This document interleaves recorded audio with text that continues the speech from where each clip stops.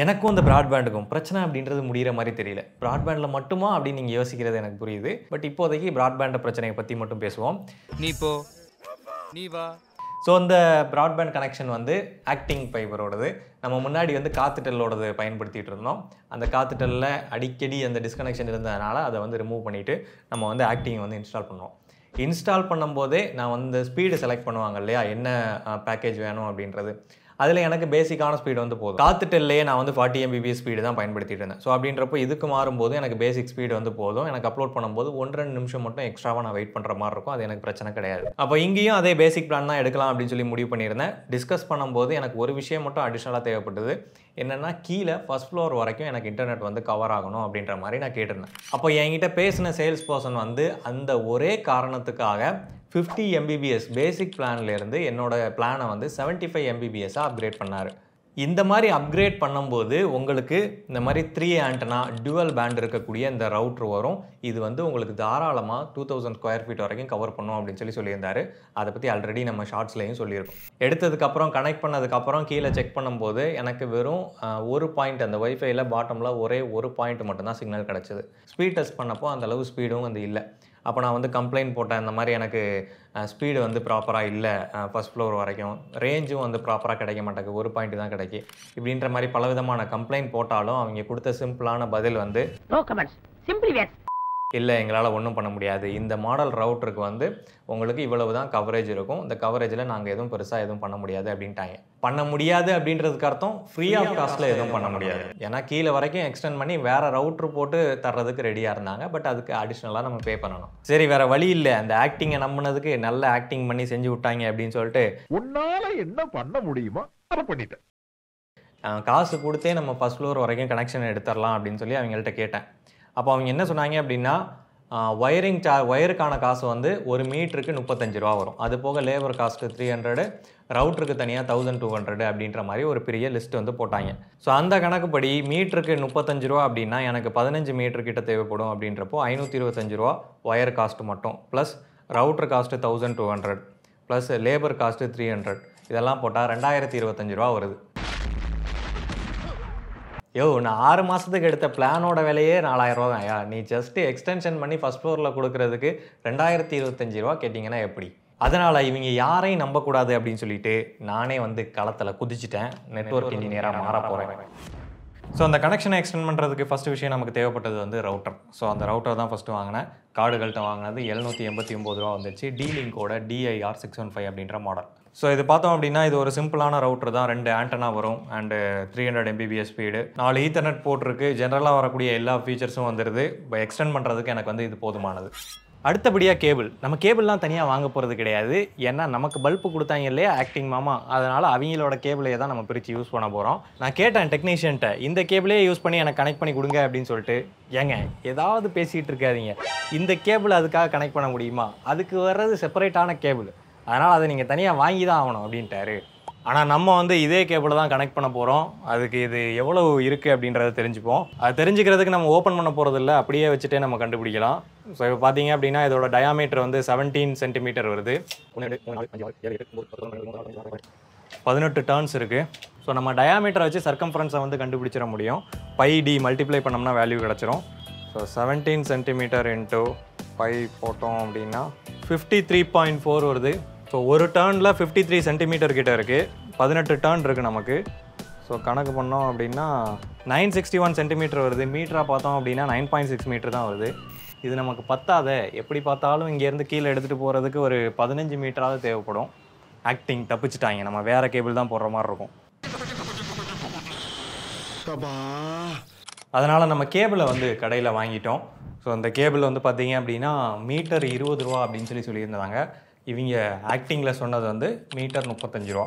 நான் வாங்கினது இருபது ரூபாய்க்கு அதுக்கும் கம்மியாக கூட கிடைக்கும். பதினஞ்சு ரூபா அந்த ரேட்லேயும் கூட கிடைக்கும். பட் அந்த அதுக்கு தகுந்தாப்புல குவாலிட்டியும் வந்து மாறுபடும். அடுத்தபடியாக டூல்ஸ் டூல்ஸை பொறுத்த வரைக்கும் எனக்கு கிரிம்பிங் டூல் அப்படின்றது தேவைப்படுன்றது கண்டிப்பாக தெரியும். ஏன்னா அந்த ஆர்ஜே ஃபார்ட்டி ஃபைவ் அந்த ஈத்தர்நெட் கனெக்டர் இருக்கும் இல்லையா? அதை ஒயரோட கனெக்ட் பண்ணுறதுக்காக அந்த டூல் கண்டிப்பாக தேவைப்படும். ஆனால் அதை தவிர வேற என்ன டூல்ஸ் தேவை அப்படின்றது எனக்கு பெருசாக ஒன்றும் ஐடியா இல்லை. அதனால் காடுகள்லேருந்து இந்த நெட்வொர்க்கிங்கான டூல் செட்டை வந்து நான் ஆர்டர் பண்ணிட்டேன். ஸோ இது உள்ள என்னெல்லாம் இருக்குன்னு சொல்லி பார்த்தீங்கன்னா ஃபர்ஸ்ட் வந்து ஒரு கிரிம்பிங் டூல் வந்து இருக்குது அதுக்கு அடுத்தபடியாக ஒரு கேபிள் டெஸ்டர் ஒன்று இருக்குது அடுத்ததாக ஒரு ஸ்ட்ரிப்பர் என்கிட்ட ஆல்ரெடி இருக்குது இருந்தாலும் செட்டில் கொடுத்துருக்காங்க.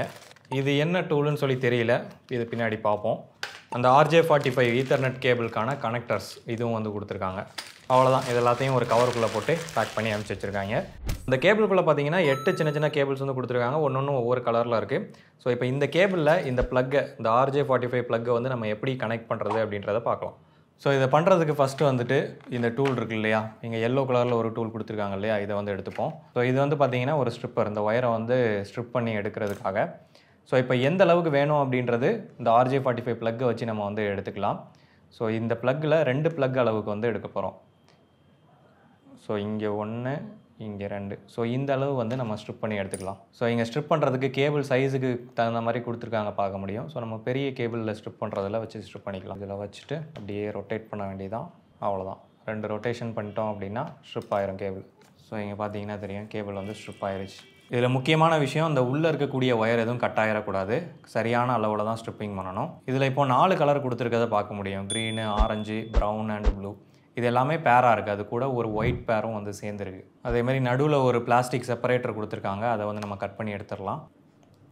இப்போ அந்த ட்விஸ்ட்டாக இருக்கிறத நம்ம எடுத்து விட்டுறலாம். அதேமாதிரி வரக்கூடிய ஒயிட் கேபிள்லையும் அது என்ன கலரோ அந்த கலரோட லைனும் வந்து கொடுத்துருப்பாங்க. இப்போ ப்ரௌனோட பேர் அப்படின்னா அதில் ப்ரௌன் கலர் லைன் வந்து இருக்கும். இப்போ இது மல்டி கலர்ஸில் இருக்குது இதை கனெக்ட் பண்ணுறதுக்கான ஆர்டரை வந்து நம்ம செக் பண்ணிடலாம். இதில் ரெண்டு டைப் ஆஃப் ஸ்டாண்டர்ட் வரும். அந்த கலர் கோடிங்கில் நம்ம எதை வேணால் யூஸ் பண்ணிக்கலாம். ஏன்னா பேட்ச் கேபிளாக தான் யூஸ் பண்ண போகிறோம் ஆனால் நம்ம காமனாக யூஸ் பண்ணுற அந்த T five sixty eight B அப்படின்ற இந்த ஸ்டாண்டர்டை வந்து நம்ம யூஸ் பண்ண போகிறோம் ஆனால் ரெண்டு பக்கமும் ஒரே ஸ்டாண்டர்டை தான் நம்ம கொடுக்கணும். ஸோ இதில் ஒன் டூ த்ரீன்னு போட்டிருக்கிறது இந்த ப்ளக்கில் பேக் சைடில் லெஃப்ட் டு ரைட் அந்த மாதிரி. ஸோ இது வந்து ஒன்று இது எயிட்டாக இருக்கும். ஸோ ஃபஸ்ட்டு வந்து ஆரஞ்சு ஒயிட் அதை முதல்ல எடுத்துப்போம். அதுக்கு அடுத்தபடியாக ஆரஞ்சு அதுக்கு அடுத்தபடியாக க்ரீன் ஒயிட் அதுக்கு அடுத்தபடியாக ப்ளூ இது வந்து பேர் பேராக வர்றதில்ல. கொஞ்சம் கலர் சேஞ்ச் ஆகுது. அடுத்ததாக ப்ளூ ஒயிட் அடுத்தபடியாக க்ரீனு அடுத்தபடியாக ப்ரௌன் ஒயிட் அடுத்தபடியாக ப்ரௌன் ஸோ மறுபடியும் அந்த ஆர்டர் கரெக்டாக இருக்கான்னு பார்த்துக்கணும். ஸோ அந்த மாதிரி கரெக்டாக வச்சுக்கிட்டு நம்ம கட் பண்ணிக்கலாம். ஏன்னா நம்ம ரெண்டு ப்ளக்குக்கான சைஸ் எடுத்திருந்தோம் இல்லையா? இப்போ நமக்கு ஒரு ப்ளக்குக்கான சைஸே வந்து போதும். ஸோ இதை கொஞ்சம் ஸ்ட்ரைட்டன் பண்ணிட்டு ஸோ கட் பண்ணுறதுக்கு வந்து பார்த்தீங்கன்னா கிரிம்பிங் டூல்லையே இந்த இடத்துல வந்து ஸ்ட்ரைட் கட்டர் வந்து கொடுத்துருக்காங்க. ஸோ அதை யூஸ் பண்ணி நம்ம வந்து கட் பண்ணிக்கலாம். இதில் கரெக்டாக அந்த ஒயரை வச்சுட்டு அவ்வளோதான் இந்த மாதிரி ஸ்ட்ரைட்டாக கட் பண்ணிக்கணும். ஸோ கட் பண்ணிட்டதுக்கப்புறமா இப்போ அந்த ப்ளக்குக்குள்ளே நம்ம வந்து விட போகிறோம் இதுதான் கொஞ்சம் டிஃபிகல்ட்டான வேலை.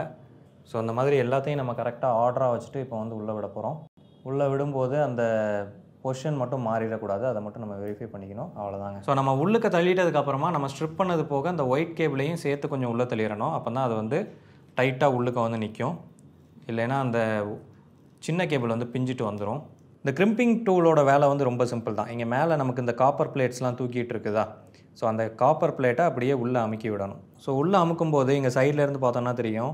அந்த காப்பர் பிளேட்டுக்குள்ளே பல்லு மாதிரி இருக்கா அந்த பல்லு வந்து கீழே இருக்கக்கூடிய கேபிளை போய் பிடிச்சிக்கும். அவ்வளோதாங்க மேட்ரு ஸோ இப்போ வந்து நம்ம கிரிம்பிங் பண்ண போகிறோம் கிரிம்பிங் பண்ணுறதுக்கு இந்த மாதிரி பொசிஷனில் இந்த நடுவில் இருக்குது இல்லையா இதுதான் ஆர்ஜே ஃபோர்ட்டி ஃபைவ் ஸோ அது உள்ள நம்ம இந்த இதை வந்து வச்சிடணும். ஸோ வச்சிட்டதுக்கப்புறமா இங்கே பார்த்தீங்கன்னா பல்லு கொடுத்துருக்காங்க இல்லையா? ஸோ இந்த பல்லை இப்படி நம்ம ப்ரெஸ் பண்ணும்போது ஆட்டோமேட்டிக்காக அந்த காப்பர் பிளேட்ஸ் வந்து உள்ளுக்கு போயிடும் இது நம்ம நல்லா டைட்டாக பண்ணிடணும். ம். ஸோ டைட்டாக பண்ணிட்டோம் அப்படின்னா அவ்வளோதாங்க. ஸோ இப்போ வந்து இந்த கேபிள் கிரிம்ப் ஆயிடுச்சு இப்போ அந்த கேபிளை வெளிப்புறமாக வந்து நம்ம கொண்டு போக போகிறோம்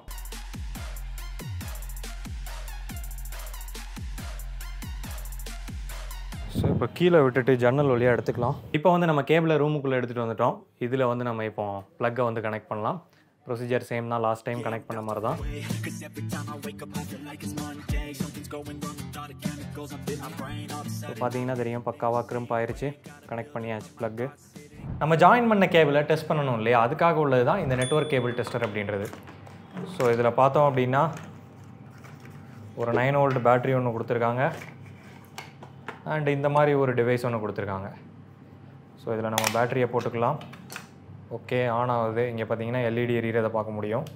இது ஒர்க் ஆகிறது வந்து ரொம்ப சிம்பிள் தான். இது ரெண்டு விஷயத்தை டெஸ்ட் பண்ணோம். ஒன்று நம்ம கிரிம்பிங் பண்ணுறோம் இல்லையா? இந்த மாதிரி கிரிம்பிங் பண்ணும்போது அந்த கேபிள் ப்ராப்பராக கனெக்டாக இருக்குதா அப்படின்றத டெஸ்ட் பண்ணும். இன்னொன்று நம்ம ஒரு ஆர்டரில் கனெக்ட் பண்ணுறோம் இல்லையா? அந்த ஆர்டர் வந்து மாறி இருக்குதா அப்படின்றதையும் டெஸ்ட் பண்ணும். ரெண்டு பக்கத்துலையும் ஒரே மாதிரியான ஆர்டர் இல்லை அப்படின்னா அதையும் இந்த டிவைஸ் மூலமாக நம்மளால் கண்டுபிடிக்க முடியும். ஸோ இதை செக் பண்ணுறது ரொம்ப க சிம்பிள் தான். நம்ம கிரிம்பிங் பண்ண கேபிளோட ரெண்டு எண்டையும் இதில் வந்து கனெக்ட் பண்ணிடணும். ஸோ இதில் ரெண்டு விதமான எல்இடி செட்டு வந்து இருக்கும். ஒன் டூ த்ரீ அப்படின்னு சொல்லி நம்பர் போட்டிருப்பாங்க. நம்ம வந்து சுவிட்சை ஆன் பண்ணும்போது இந்த எல்இடிஸ்லாம் ஒன் பை ஒன்னாக ஆன் ஆக ஆரம்பிக்கும். ஸோ இந்த மெயின் டிவைஸ் வந்து ஒன்றுக்கான சிக்னலை கொடுக்குது. அது இங்கே ஒன்லேயே கிடைக்குது அப்படின்றத காட்டுது. ஸோ அந்த மாதிரி எல்இடி அந்தந்த நம்பருக்கு நேராக எரியுதா அப்படின்றத வச்சு நம்ம ப்ராப்பராக கேபிளை கனெக்ட் பண்ணியிருக்கோமா அப்படின்றத தெரிஞ்சுக்கலாம். இப்போ நம்ம கனெக்ட் பண்ணியிருக்கிறதுல கேபிளோட ஒரு ரெண்டு மேலே இருக்குது இன்னொரு ரெண்டு கீழே இருக்குது இல்லையா? அதுக்கு எப்படி டெஸ்ட் பண்ணுறது அப்படின்னு சொல்லி கேட்டிங்கன்னா சிம்பிள் தான். இந்த மாதிரி ஸ்வங்கின்னு ரிமூவ் பண்ணிட்டா போதும். ஸோ இந்த பீஸை நம்ம கீழே கொண்டு போயிட்டு கீழே கனெக்ட் பண்ணோம் அப்படின்னா நமக்கு ஒன் டூ த்ரீ வந்து ப்ராப்பராக எதா அப்படின்றத கீழேயும் மேலேயும் நம்ம செக் பண்ணி பார்த்துக்கலாம். ஸோ இப்போ வந்து டூ பேர் கேபிளை வந்து கனெக்ட் பண்ணுறேன் இந்த கேபிளில் இது எப்படி ரியாக்ட் பண்ணுது அப்படின்னு சொல்லி பார்ப்போம். ஸோ இப்போ இந்த கேபிளில் பார்த்தீங்க அப்படின்னா ஒன் டூ மட்டும்தான் எரியுது. அதுக்கப்புறமா சிக்ஸ் தான் எரியுது. இது ஒரு டூ பேர் கேபிள் அப்படின்றதுனால ஒன் டூ கரெக்டாக இருக்குது அதே மாதிரி சிக்ஸ் கரெக்டாக இருக்குது அதுக்கு இடையில எந்த விதமான கனெக்ஷனும் எஸ்டாப்ளிஷ் ஆகலை அப்படின்றத சொல்லுது ஸோ இப்போ வந்து நம்ம இந்த ரவுட்டரை வந்து கனெக்ட் பண்ணிடலாம். அவ்வளோதான் ஆன் பண்ணியாச்சு. ஓகே ஸோ இப்போ வந்து லேண்ட் கேபிள் கனெக்ட் பண்ணி நாலு பின்னு தான் இருக்குது லேனில் எல்லாத்துலேயும் நாலு பின்னு தான் கொடுத்துருக்காங்க. அப்போ இங்கே மட்டும் எட்டு பின் வருது. ஓகே கனெக்ட் பண்ணி விட்ருவோம் இப்போதைக்கு. நமக்கு இன்டர்நெட் கனெக்ஷன் கொடுக்கும்போது இந்த மாதிரி எயிட் கோர் கேபிள் வச்சு தான் கனெக்ஷன் கொடுக்குறாங்க. அப்படின்றப்போ இவங்க மோடமோட அவுட்புட் மட்டும் எதனால் அந்த மாதிரி ஃபோர் பின் மட்டும் கொடுக்குறாங்க? அது மட்டும் இல்லாமல் இன்புட்டுக்கும் அதே மாதிரி ஃபோர் பின் தான் கொடுத்துருக்காங்க. அது இந்த மோடம்லாம் மட்டும் கிடையாது. ஆக்டிங் ஃபைபர் நெட்லேருந்து கொடுத்த மோடத்துலையும் இன்புட்டும் சரி அவுட்புட்டும் சரி இதே மாதிரி ஃபோர் பின் மட்டும்தான் கனெக்ஷனில் இருக்குது ஆக்சுவலாக இன்டர்நெட் டேட்டாவை சென்ட் அண்ட் ரிசீவ் பண்ணுறதுக்காக நாலே கேபிள் மட்டும் போதுமானது. வேற எந்த கேபிளும் தேவை கிடையாது. மற்ற எல்லாமே டம்மி தான்.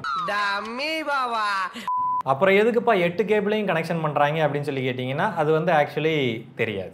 அதே நீங்கள் வர்றவர்கிட்ட கனெக்ஷன் பண்ணுற டெக்னீஷியன்ட்ட கேட்டிங்கனாலும் அவரும் தெரியாது. நீங்கள் இதே ப்ராட்பேண்ட் கம்பெனி கால் பண்ணி கேட்டிங்கனாலும் தெரியாது. அவங்க என்னத்தையும் பயன்படுத்திட்டு போகிறாங்க இந்த விஷயம் முன்னாடியே தெரிஞ்சிருந்தால் நான் அந்த மாதிரி ஃபோர் பேர் கேபிள் வாங்கியிருக்க மாட்டேன். சிம்பிளாக இதை இந்த மாதிரி கேபிளை வாங்கி கனெக்ட் பண்ணியிருப்பேன். இது வந்து ஆக்சுவலாக இந்த மோடத்தோட வந்த கேபிள் அவன் வந்து கரெக்டாக கொடுத்துருக்கான். இன்டர்நெட்டுக்கு இது போதுண்டா அப்படின்னு சொல்லி இந்த டூ பேர் கேபிளை வந்து கொடுத்து வச்சுருக்கான். ஆனால் நம்ம தான் வந்து அவசரப்பட்டு இந்த கேபிளை வாங்கிட்டோம். அது வாங்கியிருந்தோன்னா பத்து ரூபா தான் வந்திருக்கும்னு நினைக்கிறேன் மீட்ரு ஸோ காஸ்ட் இன்னும் கம்மி பண்ணியிருக்கலாம். அடுத்தபடியாக அந்த மோடமை வந்து கான்ஃபிகர் பண்ணுறது அது ரொம்பவே ஈஸி தான். இந்த மோடம் பின்னாடியே வந்து பார்த்தீங்கன்னா ஒய்ஃபை பாஸ்வேர்டு போட்டிருக்கோம் ஸோ அது போட்டுட்டு நம்ம ஒய்ஃபையோட ஜஸ்ட்டு கனெக்ட் பண்ணிடலாம். பண்ணிட்டதுக்கப்புறமா மேலே ஒரு ஐபி கொடுத்துருப்பாங்க.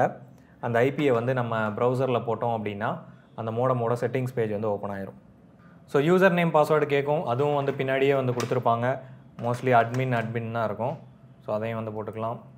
இதில் நம்ம செட்டிங்ஸில் போயிட்டு ஒயர்லெஸ் நெட்ஒர்க்குள்ளே போனோம் அப்படின்னா நம்ம வந்து நெட்ஒர்க் நேமையும் அதே மாதிரி பாஸ்வேர்டையும் நம்மளால் சேஞ்ச் பண்ணிக்க முடியும். ஸோ அந்த ரெண்டுத்தையும் சேஞ்ச் பண்ணிட்டோம் அப்படின்னாலே வேலை முடிஞ்சது. மற்ற எல்லாமே டிஃபால்ட்டாகவே விட்டுடலாம் ஸோ அந்த ஒய்ஃபை நேமில் கனெக்ட் பண்ணிட்டு பாஸ்வேர்டு போட்டோம் அப்படின்னா நமக்கு ஒய்ஃபை வந்து கனெக்ட் ஆயிரும். ஸோ அவ்வளோதான் இதில் வந்து பார்த்தீங்கன்னா இப்படி நான் தொங்க விட்டுருவேன். ஸோ இது எங்கேயும் ப்ராப்பராக ப்ளேஸ் பண்ணணும்னு அவசியம் கிடையாது. இந்த மாதிரி இங்கேயே தொங்க விட்டுருவேன் நான். ஸோ எனக்கு ஒய்ஃபை மூலமாக தான் கனெக்ட் ஆக போகுது. ஸ்பீட் நம்ம டெஸ்ட் பண்ணி பார்க்கலாம்.